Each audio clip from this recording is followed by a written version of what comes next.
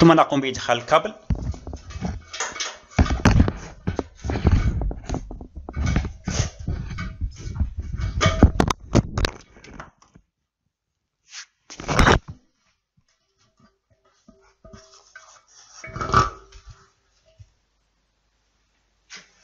بعد إخراج إخواني من هنا نقوم بوضع هذه القطعة. لنلاحظ هذه الفتحة هنا. أقوم بإدخالها بجانب الكابل بهذا الشكل.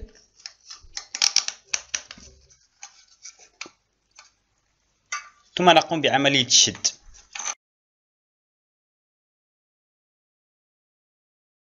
بهذا إخواني نكون قد انتهينا من عملية توصيله هنا. فقط يتبقى لنا مدخل الماء سأقوم بتوصيله. ثم نقوم بعملية تجربته.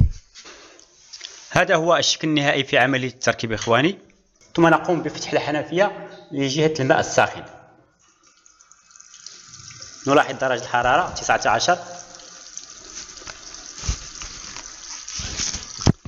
بدأت في عملية الارتفاع.